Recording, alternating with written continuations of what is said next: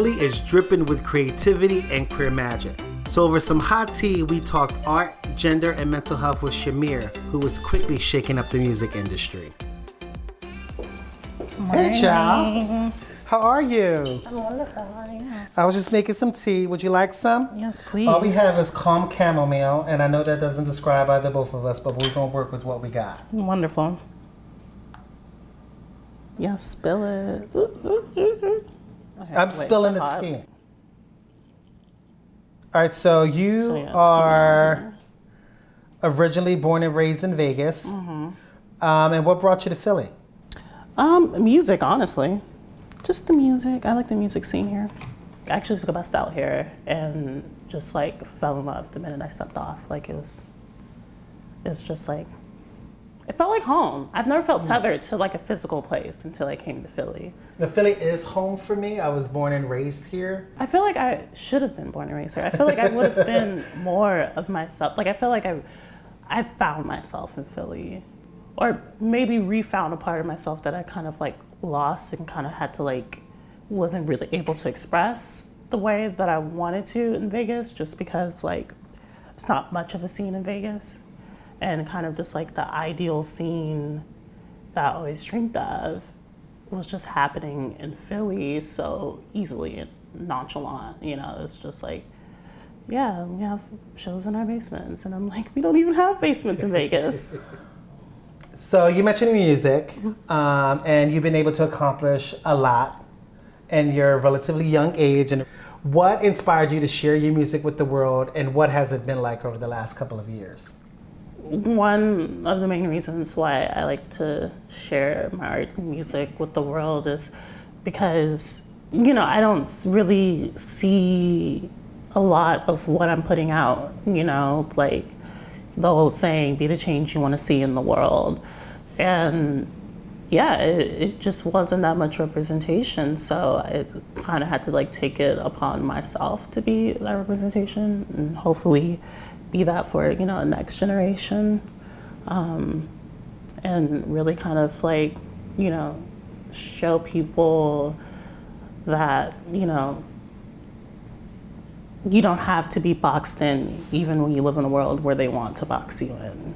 What has been the response from people? Some people call them fans, some people call them Stans. stands. Because you mentioned representation, and we don't necessarily have black queer representation in popular media. So, what has been the feedback from other black young queer folks when they've um, discovered you or have been following your music? I don't know. I'm sure it's more, unfortunately, within, you know, kind of like guitar based music and even pop music. Um, it's not really consumed by, you know, the urban folk, as, you know, they say. Um, and so I kind of like what makes what I do extra special is the fact that when I do see other like, you know, queer kids of color in audience, um, I almost kind of feel bad that like what I do, they're still the minority, you know, even though they're watching someone that looks like them up on stage. And I think it's just extra special that even still when they're like a minority in the crowd, they still have this like person of representation on stage, like entertaining everyone in the crowd. And it's like, oh, I can do this even if I don't necessarily have like the I guess community that most people are granted, you know, especially within music, you know, like a lot of people have that representation and have people that like look like them and like gone through their experiences to like lift them up where it's like I didn't, you mm-hmm. know, there was like no one around me in like my community or even my team when I first started, you know, and I had to like navigate my own way. Do you think it's because it's guitar based music, or it's because the subject matters tend to be really different from what is on pop radio, which is usually love songs, which I don't. I love love. I don't mind them. But like even with your song Straight Boy, you talk about co-opting and erasure. Um, and that's not something we typically hear on a dance track. it's rare that you know you get guitar based stuff that like touches on like you know queer identity and, and queer issues and queer problems, and also like you know black issues too. You know, I have a song you know called "I Can Breathe." Most guitar based genres, you know, is overtaken by straight white men. So obviously they're not going to write songs about that and have They've taken over dance that's, too. Like, that's probably the main problem just in general with kind of just getting the more alternative stuff that's being done by people of color and queer people of color. It's just the fact that like it's a genre that is typically consumed by straight white men and they feel they can't relate to it for some reason, even though the reverse is that like I grew up liking the stuff that mostly straight white men would write and I still relate to it in some way. So why can't it be reversed? Mm-hmm. You know, and it really makes you wonder why, but I think we all know why. So you've been really open um, about your bipolar disorder diagnosis, and that helps to combat stigma. Because um, I think only now we're having expanded conversations around mental health that isn't stigma based. Um, what led you to be to share that part of yourself with the world? I think the biggest thing that inspired me is the fact when I got my diagnosis after like really like bad traumatic situation. You know, a lot of the people around me, like in my team at that point in time, were kind of like one of the main things, like before it was even like, oh, Shamir okay? Like, blah, blah, blah, blah. I was like, how can we cover this up? Like, we won't tell anybody, like, blah, blah, blah, blah. And I thought that was like so ridiculous and so it it basically kind of just like opened my eyes to like kind of like why when a lot of artists kind of like go off the deep end it seems out of nowhere but it's never out of nowhere you know? There's always kind of like signs and everything and i think if more artists was more open about their mental health issues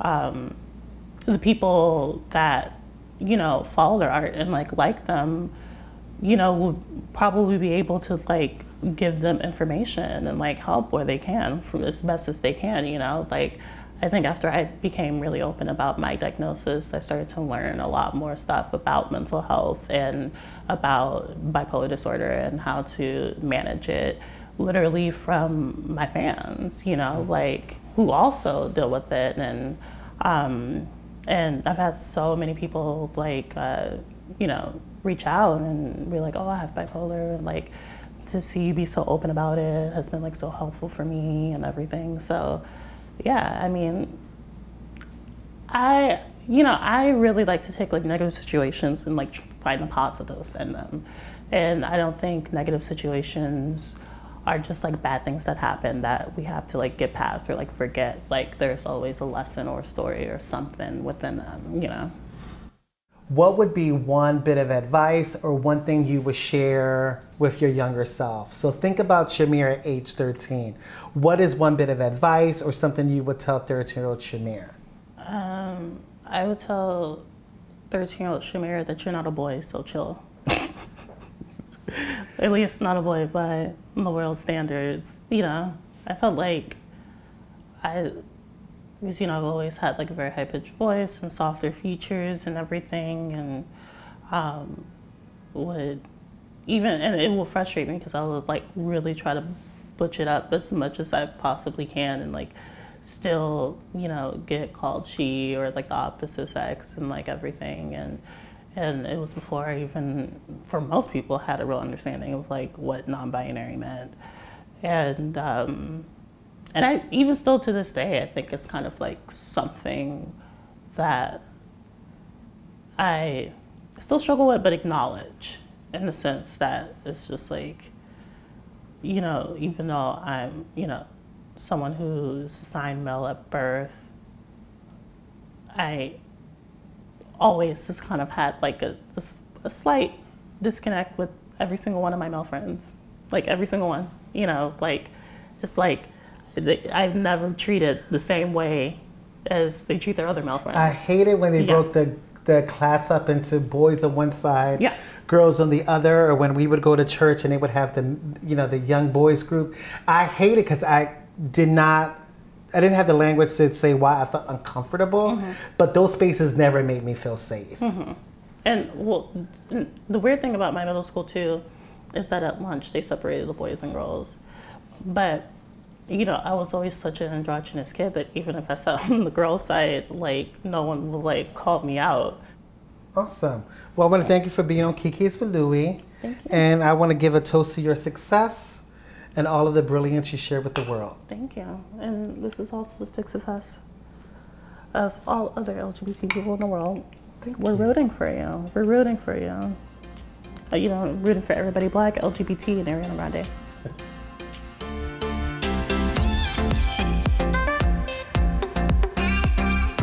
Well, this is cute. Louie. Oh, hey. Well, I want to thank you for watching Kikis with me, Louie. And if you enjoyed this episode, make sure to like and subscribe down below.